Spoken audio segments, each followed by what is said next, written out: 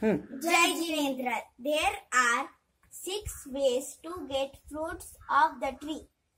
First, uprooting entire tree. Second, cutting the trunk of the tree. Third, cutting the branches. Fourth, cutting the twigs. Fifth, plucking. Sixth, picking. We think uprooting entire tree is cruelty. It is cruel state of mind.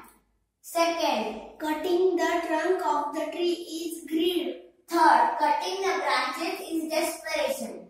Fourth, cutting the twigs is virtue state of mind. Fifth, plucking is kindness. Plucking is kind state of mind. Sixth, picking. Picking is noble state of mind.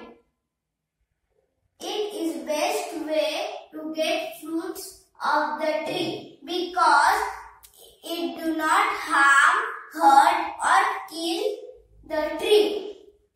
It is non-violent way. It is way of samyak drushti we choose six, six way to get fruits of the tree.